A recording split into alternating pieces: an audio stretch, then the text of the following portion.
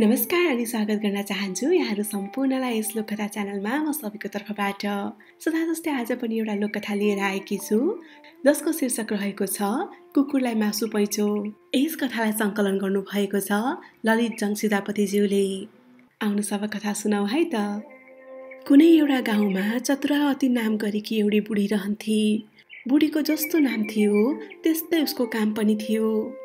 बुढी बठाइले उडेको चिल समेत खसाल्थे। तर दैवको लीला यस्तै चतुर बुढीको छोरा निष्पट लट्ठ र उल्लु थियो। उसलाई कुन ठाउँमा के बोल्ने के नबोल्ने भन्ने कुरा केही ज्ञान थिएन। त्यसै कारणले गाउँलेहरूले उसको नाउँ गुवागे राखेका थिए। एक वर्ष बुढी चतुरावतीले माघे सङ्क्रान्तिको बिहान गुवाकेलाई एक रुपियाँ दिएर भनी बाबु तल्लो गाउँमा जबरेले आज खसी बनाउँदैछ। एउटा राम्रो भाग हेरेर ले चाडपर्वको दिन सकेसम्म चाँडै आएस्। गुवाके पनि आमाले दिएको रुपियाँ लिएर मासु लिन भनी हिँड्यो। उता बुढी भने मासुलाई चाहिने मसलाहरू ठिक पार्न लागि। गुवाकेले जबरे कहाँ पुगी छानिकन एक रुपियाँको मासु लियो। अनि मासुलाई रुमालमा पोको पारी घर फर्किन लाग्दा एउटा कुकुर पनि पछि पछि लाग्यो। एक दुई बाजी त गुवाकेले कुकुरलाई थपाउने उद्योग गर्यो। परन्तु मासुको गन्ध पाएको कुकुरले सितिमिति कहिले छाड्थ्यो र गुवाके बाटो लाग्यो। कुकुर पनि हिरिक खिरिक गर्दै पछि लागिरहेको थियो। कुकुर यसरी पछि लागेको देख्दा गुवाकेलाई दया लागेर आयो। त्यसपछि उसले एक ठाउँमा उभिएर कुकुरलाई सोध्यो मैले बुझेँ त मासुको निमित्त पछि लागेको होस्। तर के गर्नु? म पनि लाचार छु। मैले यो मासु मेरो आमालाई बुझाउनु पर्दछ। तमाथि पनि दया लाग्दैछ कठै। तसँग पनि आज रुपैयाँ हुँदो हो त तैँले आज अर्काको आश गरी पुच्छर हलाउँदै पछि लाग्नु पर्ने थिएन। भइगयो ला चार टुक्रा तँलाई पनि दिन्छु। भरेसम्ममा तैँले पैसो तिरेस्। यसो गरिस् भने मलाई पनि गाली सुन्न पर्दैन तेरो पनि काम चल्छ। ग्वाकेले पोको खोलेर चार टुक्रा मासु कुकुरको अगाडि फ्याँकिदियो। यति मासु सिद्धाउनलाई कुकुरलाई के भेट लाग्थ्यो र? मासु सिद्धाइकन कुकुरसन माया लाग्दो मुख बनाएर ग्वाकेतिर हेर्न लाग्यो। ग्वाकेले फेरि दया गरी मासु दियो। कुकुरले त्यो मासु पनि कप्पा कप खतम पार्यो। ग्वाकेले फेरि दियो। यसो गर्दा गर्दै ग्वाकेले सबै मासुहरू कुकुरलाई खुवाइसिद्धायो। त्यसपछि ग्वाके खाली रुमाल लिएर घरतिर लाग्यो। यसरी खाली रुमाल लिएर आएको देख्दा बुढी आगो भई ग्वाकेले रुन्चे मुख बनाएर सबै हाल सुनाउन लाग्यो अनि भन्यो आमै के गर्नु? कुकुरको दुःख हेर्न सकिन। अनि पैँचो दिए। कुकुर बैमानी हुँदैन भनेर भन्छन्। पैँचो अवश्य तिर्नेछ। छोराको यस्तो कुरा सुनेर बुढीले के नै गर्न सक्थे र त्यसपछि केही समय फतफताई र चुप लागि। जबरेको घरमा मासुको गन्धले गाउँभरिका कुकुरहरू जुमिएका थिए जबरेले सबै मासु बेचिसकेको थियो अनि परिश्रमले थाकेको पनि थियो मासु बेचेर आएका सबै रुपियाँहरू जम्मा पारी एउटा छालाको थैलोमा राखेर एकातिर बस्यो। कुकुरहरूले जबरेले थैली राखेको देखिरहेका थिए जबरेको ध्यान यताउता हुनासाथ कुकुरहरूले मौका पाए। त्यत्तिकैमा गुवाकेकै आसामी कुकुरले थैले भेटायो। थैलो छालाको चुत्ता चुत्दै एक दुईवटा हड्डी खान पाउने आशमा आफ्नो महाजन गुवाकेको घरको बाटो लाग्यो। साँझ छमक्क परिसकेको थियो। सबैजना घरभित्र आफ्नो काममा लागेका थिए। कसैको ध्यान पनि ती कुकुरतिर गएन। कुकुरले गुवाकेको आगरमा बसेर थैलो निचोड्न थाल्यो। यसो गर्दा थैलोबाट पैसा खसी आँगनभरि बिस्कुन भयो। बिहान जब गुवाके आँगनमा निस्कियो कुकुरले यसरी रुपियाँ छरिराखेको देख्दा ताजुबको ठेगाना रहेन। अनि दक्कुर्दै गएर आमालाई बोलाउन भित्र पस्यो। आमा चाहिँ पनि कुकुरको चाला देख्दा दङ्ग परी। अनि गुवाकेले भन्यो आमा देख्यौ त मैले भनेको कुरा ठिक रहेछ कि रहेनछ? मैले त हिजै भनेको थिएँ नि कुकुरको जात कहिले पनि बैमान हुन सक्दैन भनेर। बिचराले कहाँ कहाँबाट रुपियाँ ल्याएर पैँचो तिरेछ। तिमी त बिना सेती रिसाइरहेकी थियौ।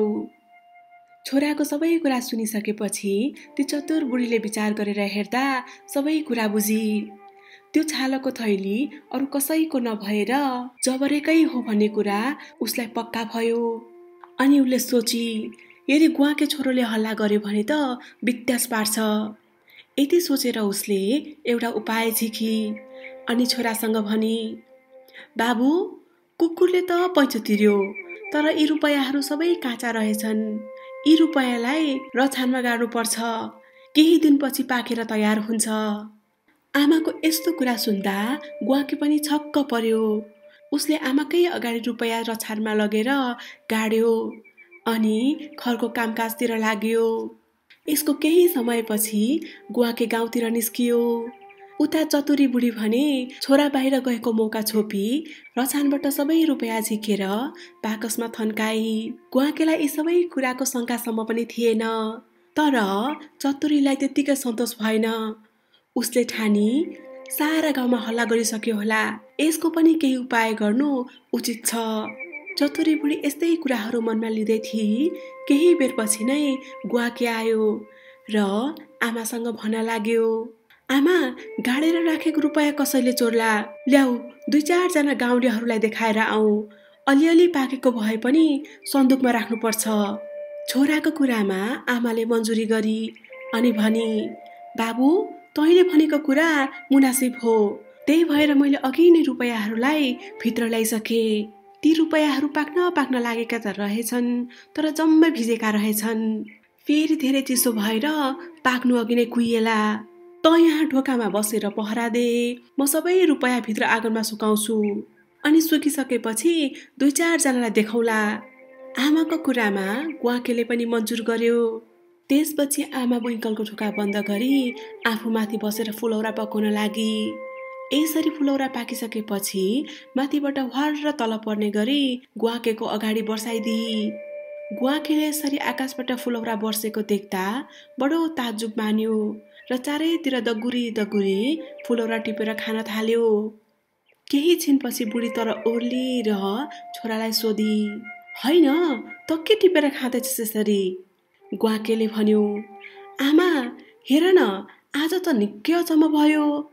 आकाशबाट ताता ताता फुलौराहरू बसिरहेछन् आमा चाहिँले पनि आश्चर्य प्रकट गरेर भनी हाम्रो भाग्यले देउता खुसी भएर फुलौरा बर्साएछन्।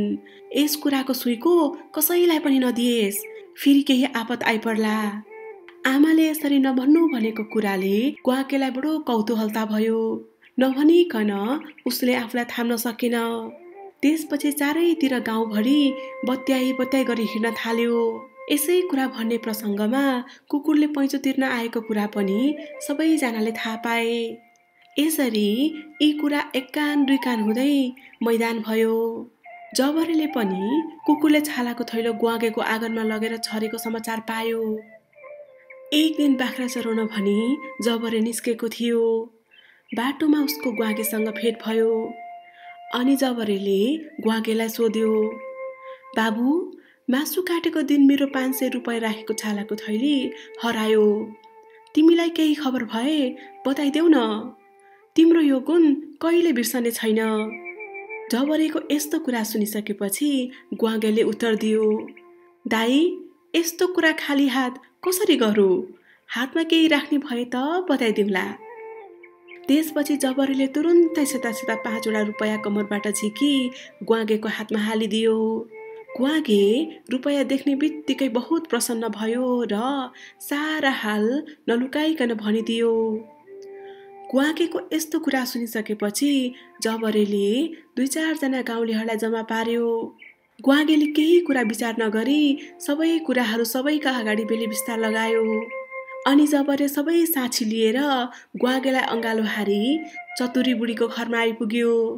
अनि भन्यो बुढियामै माघे सङ्क्रान्तिको रातमा मेरो पाँच सय रुपियाँ राखेको छालाको थैलो बेपत्ता भयो। यी भन्दछन् कि एउटा कुकुरले त्यसैको भोलिपल्ट बिहान पाँच सय जति रुपियाँ छालाको थैलोले भरि तपाईँको आँगनमा ल्याएर छरेछ। ती सबै पैसा मेरा हुन्। जे भयो भयो। हजुरलाई पाँच दस रुपियाँ टक्राउँछु। मेरो रुपियाँ पाऊ। जबरेका कुरा सुन्दा बुढी फतफताउन लागि। अनि छर्किकन भनी कुकुर सुकुर मलाई थाहा छैन। कस्तो कुकुर? मैले केही देखेको छैन। कस्तो बौला कुरा गर्दैछौ ह? यहाँ कुनै कुकुरले रुपियाँ ल्याएन। मेरा अगाडि यस्ता कुरा नगर। मलाई यस्तो दिल्गी गरेको मन पर्दैन। तिमीहरू ठिटाले म जस्तो बुढीसँग दिल्गी गर्नु उचित होइन। बुढीको कुरा सुनेर जबरेले फेरि भन्यो होइन आमै खासमा तपाईँकै छोराले पाँचजना पञ्चको अगाडि बकिसकेका छन्।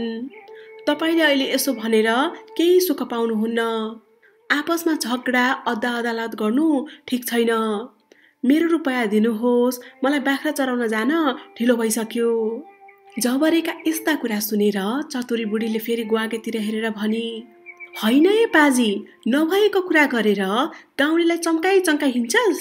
त जस्तो सिल्लीलाई जन्माउनु भन्दा त म बाँझै भएको असल लाग्दथ्यो। यस्तो बकफास गर्दै हिँड्छस्? एक दिन पर्लास गलफन्दीमा आमाको कुरा सुनेर गुवाके जिल्ल परेर भन्यो आमै तिमीले बिर्स्यौ? सम्झौ त अस्ति बिहानै कुकुरले आँगनमा रुपियाँ ल्याएर छरेको होइन? झन् मैले बोलाइ बोलाइ तिमीसँग भने आमा हेर त कुकुर कस्तो इमान्दार रहेछ। आज बिहानै पैसा तिर्न आइपुगेछ। तर ती सबै रुपियाँहरू काँचो भएकोले रसानमा गाड्न गएको होइन? छोराको यस्तो कुरा सुन्दा बुढीको होस उड्यो। अनि राता राता आँखा पारेर भनी कुलङ्गार कहिले कुकुरले पैँचो लिएर तिर्न आउँछ? खोइ देखा रछानको रुपियाँ। यस्तो छुट्टा कुरा गरिस् भने त तेरो मुख पनि हेर्ने छैन त्यसपछि ग्वाकेले फेरि भन्यो होइन आमै हिजो आकाशबाट फुलौरा बर्सेको दिनमा तिमीले ढोका थुनेर रुपियाँको बिस्कुन सुकाएकी होइनौ झन् अहिले मलाई पो उल्लु तुल्याउँछौ? ग्वाकेका यस्ता कुरा सुनेर जम्मा भएका सबैजना गाउँलेहरू पेट मिची मिची हाँस्न थाले। अनि ग्वाके भने अलमल्ल परेर सबैजनाको मुख हेर्न थाल्यो। अनि गाउँलेहरू पनि हाँस्दै हाँस्दै त्यहाँबाट आफ्नो बाटो लागे। जबरे पनि फतफताउँदै बेकारमा मेरो समय खेर गयो भनेर बाख्रा चराउन गए। अनि चतुरी बुढी भने आफ्नो दिमाग देखेर मनमा नै मुस्कुराउन थाली। बिचरा उता ग्वाकेले भने केही बुझ्न सकेन। कस्तो लाग्यो त हजुरलाई आजको कथा? आशा गर्दछु मन पर्यो होला। यदि यहाँहरूको केही सल्लाह सुझाव भए प्लिज कमेन्ट गर्नुहोला। र कथा मन पर्यो भने लाइक र सेयर गर्न पनि नबिर्सिनुहोला। हस् त यति भन्दै अहिलेलाई पनि बिदा चाहन्छु। फेरि पनि यस्तै कथा लिएर अवश्य आउनेछु। बिदा दिनुहोस्। नमस्ते।